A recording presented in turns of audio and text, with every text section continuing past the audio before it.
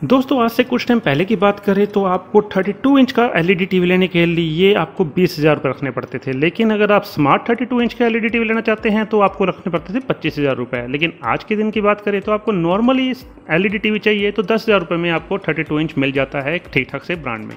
लेकिन अगर आप स्मार्ट एल टीवी चाहते हैं तो चौदह से पंद्रह हज़ार की प्राइस रेंज में आपको काफ़ी अच्छे अच्छे टीवी मिल जाते हैं एंड्रॉयड बेस लेकिन अगर दोस्तों, मैं कहूँ कि मैं आपके लिए लेकर आया हूँ top five smart L E ना सिर्फ़ स्मार्ट जबकि वो होंगे सर्टिफाइड एंड्रॉयड एलईडी टीवीज़ उनकी प्राइस आपको मिलने वाली है दस हज़ार के नीचे।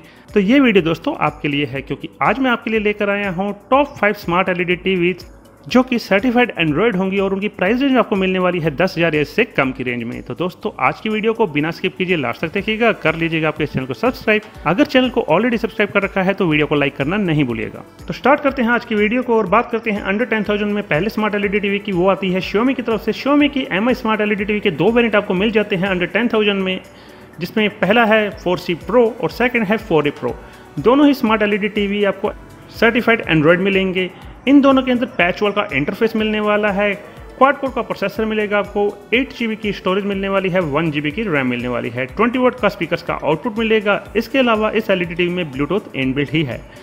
थ्री एच के पोर्ट मिलेंगे टू यू के पोर्ट मिलेंगे, दोनों ही एलईडी टीवी में क्रोमाकास्ट और गूगल असिस्टेंट्स मिलने वाले हैं।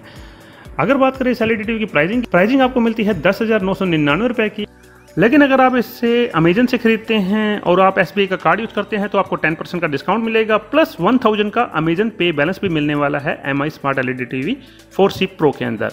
अगर बात करें फ्लिपकार्ट की तो फ्लिपकार्ट में आपको फोर ए प्रो मॉडल मिलेगा। वहाँ पर आपको एक्सिस बैंक या ICICI बैंक के कार्ड्स को यूज़ करने पर ही 10 परसेंट का डिस्काउंट मिलेगा। तो ऑटोमेटिकली ये एल ई टीवी दस हज़ार से कम प्राइजेज में आपको मिल जाएगी। लेकिन फोर सी प्रो की बात करें तो वो आपको अप्रॉक्सीमेट पड़ने वाली है नौ हज़ार रुपये की।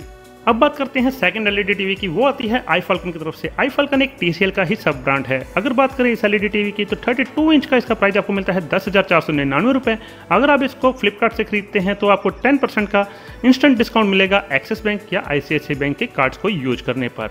अगर आप किसी अनदर बैंक का कार्ड यूज़ करते हैं तो आपको फ्लैट फाइव का डिस्काउंट मिलने वाला है। फिर भी ये एलईडी टीवी आपको नौ हज़ार नौ सौ निन्यानवे की पड़ेगी। अब बात करें इस एलईडी टीवी की स्पेसिफिकेशन की तो इस एलईडी टीवी में भी आपको क्वाड कोर का प्रोसेसर मिलेगा वन पॉइंट ऑफ़ रैम मिलेगी एट जीबी की इंटरनल स्टोरेज मिलने वाली है। ए प्लस ग्रेड का पैनल यूज़ किया गया है और इस एलईडी टीवी के अंदर क्रोमाकास्ट और गूगल असिस्टेंट आपको मिलने वाले हैं। स्पीकर्स की बात करें तो इस एलईडी टीवी में आपको 16 वोट का स्पीकर्स मिलेगा। माइक्रो डिमिंग का भी ऑप्शन इस एलईडी टीवी में आपको मिलता है, जो कि काफ़ी अच्छी अच्छी स्मार्ट एलईडी में देखने के लिए मिलता है। इस एलईडी टीवी में आपको दो एच के पोर्ट और एक यूएसबी का पोर्ट मिलने वाला है। चलिए बात करते हैं नेक्स्ट स्मार्ट एलईडी टीवी की। वो आती है सानियो की तरफ़ से। सानियो की तरफ़ से काफ़ी अच्छी स्मार्ट एलईडी टीवी मिलती है, जो कि एंड्रॉइड बेस आईपीएस पैनल के साथ मिलती है। अगर बात करें इस एलईडी टीवी के स्पेसिफिकेशन की, वो कुछ इस तरह से आपको मिलने वाले हैं।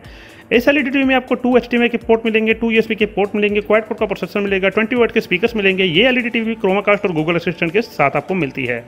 अगर बात करें इस एलईडी टीवी के पैनल की तो वो आपको आईपीएस का पैनल मिलने वाला है। प्रोसेसर की बात करें तो इस एलईडी टीवी में भी आपको क्वाइट कोर का प्रोसेसर मिलेगा। अगर बात करें प्राइसिंग की तो इस एल टीवी का प्राइस आपको अमेजन पर मिलने वाला है ग्यारह हज़ार चार सौ निन्यानवे रुपये का। लेकिन अगर आप एस के कार्ड्स का यूज़ करते हैं तो आपको दस परसेंट का इंस्टेंट डिस्काउंट मिलेगा। और साथ ही साथ आपको अमेजन पे बैलेंस में हंड्रेड रुपीज़ का कैशबैक भी मिलने वाला है। तो कुल मिलाकर ये एल टीवी अप्रोक्सीमेट दस हज़ार के आसपास आपको मिलेगी। इसके अलावा भी कुछ ऑफर्स मिलने वाले हैं। साथ ही साथ आपको एक्सटेंड वारंटी भी वन ईयर की मिलेगी। तो ये एलईडी टीवी भी दस हज़ार की प्राइस रेंज में एक अच्छा ऑप्शन बन जाता है हमारे लिए। चलिए बात कर लेते हैं नेक्स्ट स्मार्ट एलईडी टीवी की तो वो आती है माइक्रोमैक्स की तरफ़ से। तो माइक्रोमैक्स की स्मार्ट टीवी का प्राइस है ग्यारह हज़ार चार सौ निन्यानवे रुपये अगर आप एक्सिस बैंक का या आईसीआईसी बैंक का कार्ड यूज़ करते हैं फ्लिपकार्ट पर तो, आप, तो आपको दस परसेंट का डिस्काउंट मिलने वाला है। अगर बात करें इस एलईडी की स्पेसिफिकेशन इसके अंदर भी क्वाड कोड का प्रोसेसर मिलता है वन की रैम मिलती है एट की इंटर स्टोर मिलती है ट्वेंटी वाट का स्पीकर मिलता है इसके अलावा गूगल असिस्टेंट और क्रोमाकास्ट इनबिल्ट मिलता है। क्योंकि ये एलईडी टीवी सर्टिफाइड एंड्रॉइड है तो इस कारण इसमें भी आपको प्ले स्टोर का फीचर्स मिल जाता है। अगर बात करें पोर्ट्स की तो इसमें टू एच के पोर्ट और वन यूएसपी का पोर्ट आपको देखने के लिए मिलने वाला है।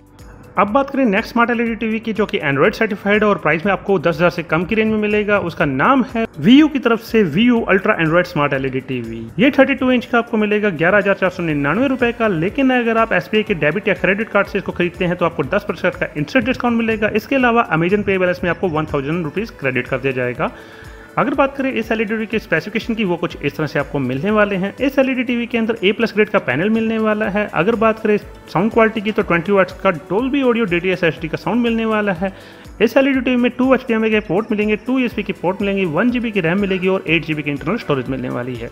इस एलईडी टीवी में गूगल असिस्टेंट और क्रोमाकास्ट का भी फीचर आपको मिलने वाला है। दोस्तों इस एलईडी टीवी में ब्लूटूथ कनेक्टिविटी 5.0 यूज़ की गई है, जो कि 32 इंच की एलईडी टीवी में सबसे बेहतर इसी एलईडी टीवी में यूज़ की गई है। दोस्तों तो आपको इन सभी एंड्रॉइड स्मार्ट एलईडी टीवी में से कौन सा एंड्रॉइड स्मार्ट एलईडी टीवी पसंद आया, मुझे कमेंट करके ज़रूर बताइएगा। अगर आपकी नज़र में कोई एलईडी टीवी है जो दस हज़ार की प्राइडेज में है और वो है भी सर्टिफाइड एंड्रॉइड तो उसका नाम भी कमेंट सेक्शन में ज़रूर लिखिएगा। आपको ये वीडियो कैसे लगी, मुझे लाइक एंड डिसलाइक करके अपना फीडबैक दीजिएगा। अपने दोस्तों का शेयर कीजिएगा और चैनल को सब्सक्राइब करना नहीं भूलिएगा। Thank you so much have a good